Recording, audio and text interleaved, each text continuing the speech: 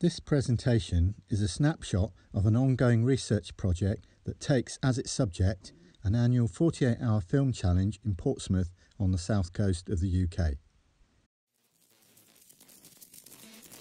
Oh, hello.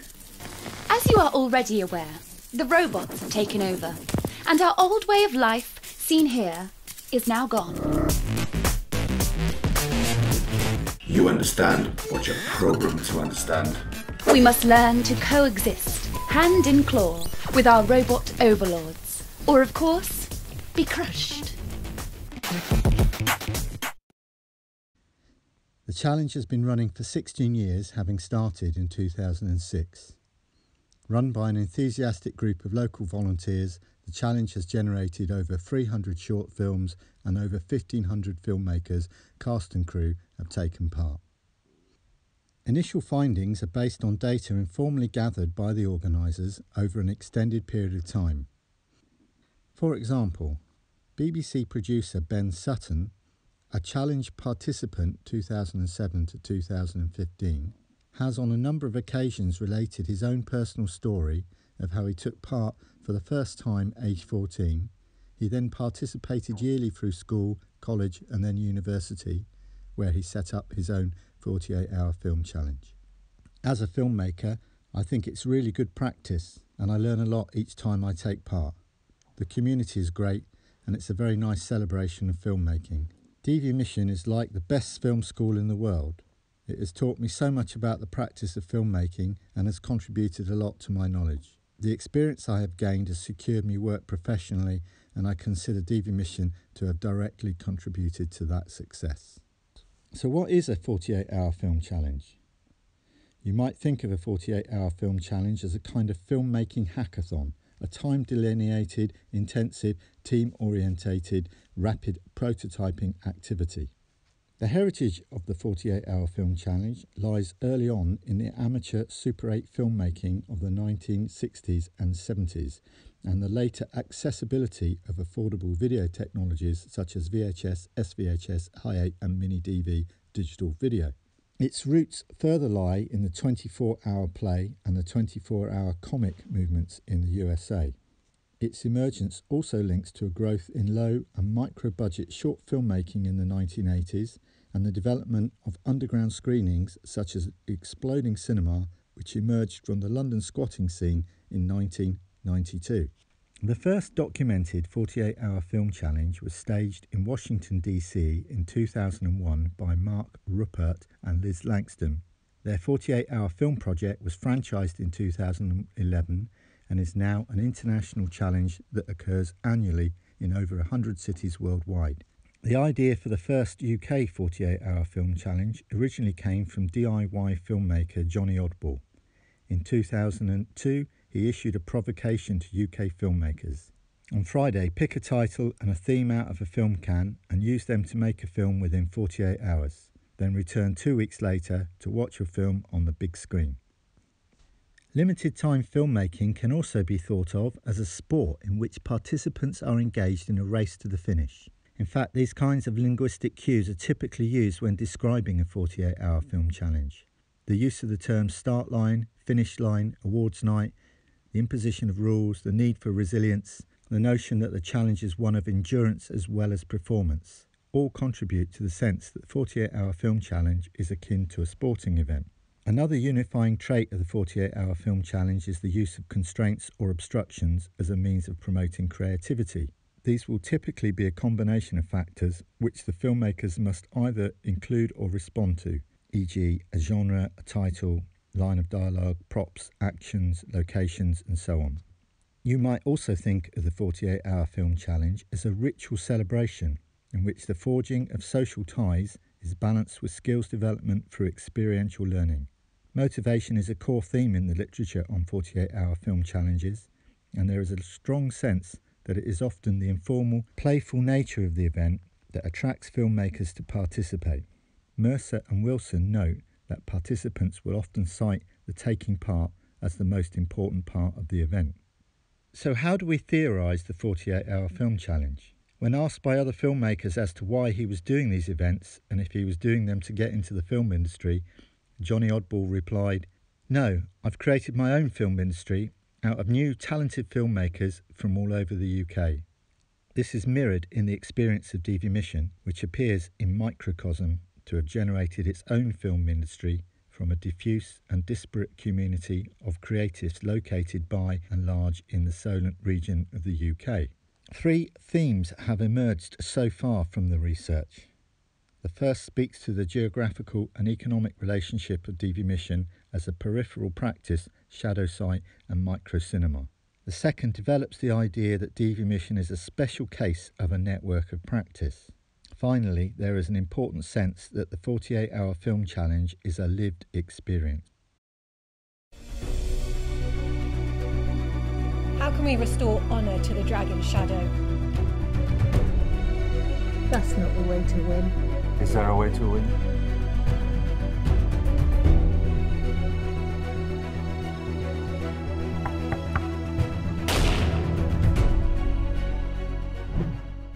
Microcinema can be thought of as small scale, do it yourself, low to no budget guerrilla filmmaking that is typified by a persistent transience. Often positioned in antithesis to the mainstream or more formal forms of production and exhibition, sometimes taking a critical, politicised position, while in others instances merely positing an alternative space for operation and dissemination. It often takes an oppositional position in relation to dominant ideologies. Distribution is largely via small local screenings via YouTube and other open platforms, and audiences often limited to the filmmakers themselves, other creative media makers, and or those with an interest in counterculture. A microcinema is a peripheral space. It's a site where media makers gather to engage in production activities that are neither central to the mainstream or to small cinema a site of practice which echoes the formal economy yet simultaneously exists outside of formal regulation of modes of production and exchange, a shadow site. Studies in economic anthropology have shown, however, how informal economies or shadow economies cannot be disentangled from those that dominate. Although it may not appear that DV Mission is part of the mainstream or even a small cinema, the point here is that it is entangled with the core. Portsmouth is sandwiched between two areas of high concentration and growth, and many of the participants come from these areas to the east, west, and north of the city. Consequently, DV Mission, though not part of the core, is at the same time directly engaged with it, and, it is argued, this brings value to the city, its creative economy, and the creative talent who live here.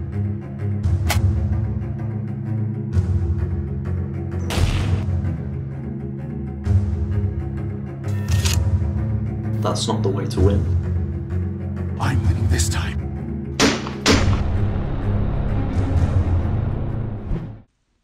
It's not a community of practice, but a network of practice.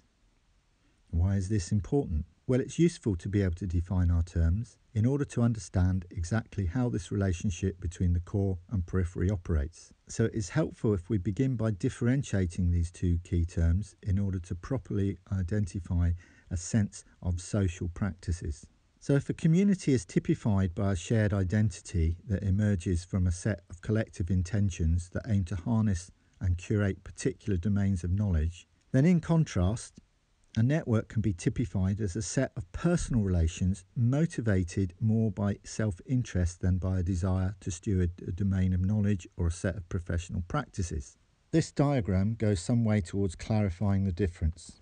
So a network is often static, linear, connected, transactional, whereas a community is more fluid, non-linear, and the emotional and relationships are more important.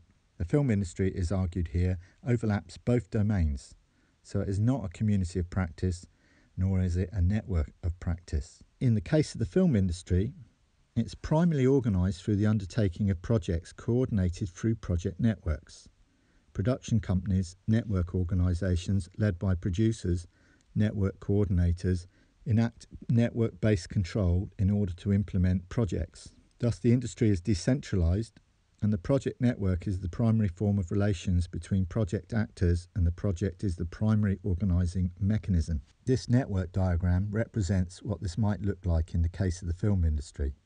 As you can see, it includes characteristics of a community of practice, a project network, and a network of practice. It is argued that with a film production, social actors are formally employed with hierarchies, contractual obligations, and mandated rules, but organised via project networks on a project by project basis and typified by precarity of employment.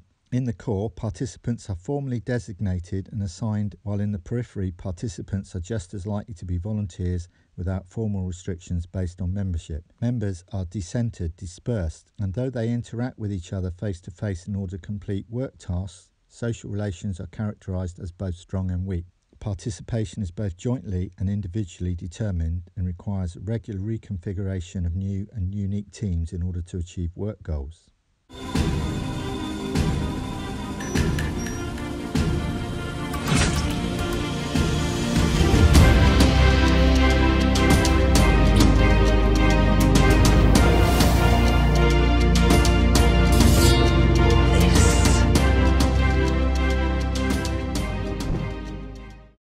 48 hour film challenge is also a lived experience. An important consideration when investigating impact is to consider the social and cultural aspects, not just the economic. Following Bourdieu, participants in a 48 hour film challenge can be thought of as agents who carry cultural capital with them into a site of practice, where it is recirculated through collective experience, out of which the formation of a shared identity membership of group or communities emerges.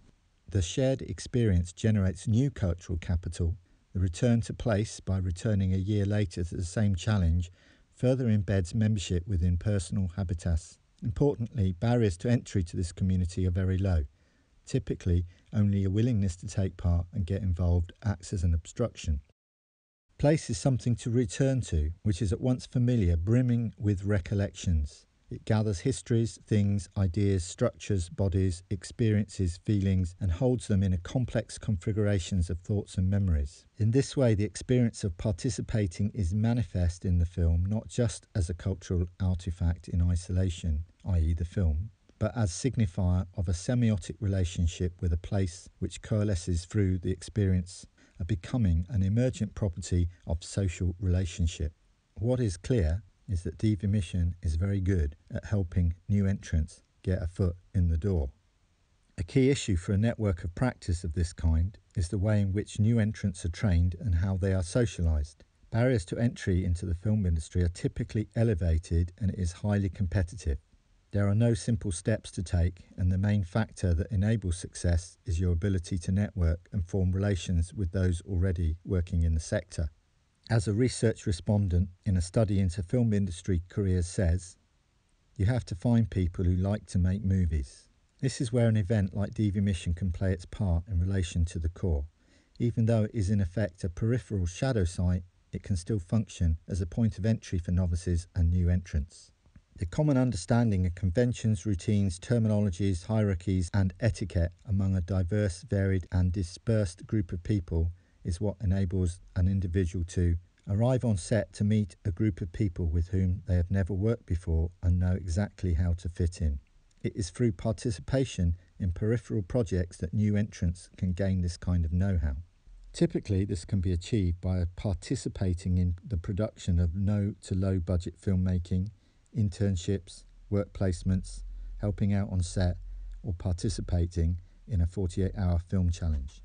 Participation in these kinds of activities assist with the acculturation process. It helps identify gatekeepers, assists with the development of interpersonal skills, promotes the assimilation of industry norms and values, establishes reputation as someone people want to work with, expands skills in relations to competence and capabilities, demonstrates motivation and persistence. Most importantly, it enables social actors to develop an identity as a filmmaker and to develop a habitus that is recognisably that of a member of a network of practice, in this case, that of a filmmaker.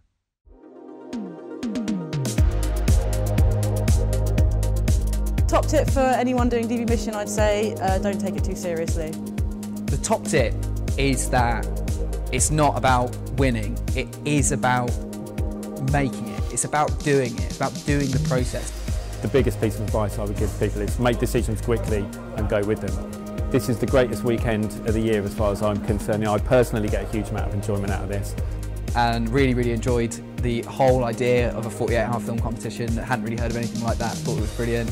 And so the next year it came round, I decided to enter my own team and, and do it for myself. So yeah. For filmmakers, I think it just teaches them to be resourceful. Um, we've shot some films on like iPhones, on stupid little compact cameras, on DSLRs. We've edited on just about everything possible. One of the common challenges to face is always getting the edit to at least two minutes. You always find you overshoot because you panic and then you sit down, you try and work it all out and it's just way too much footage.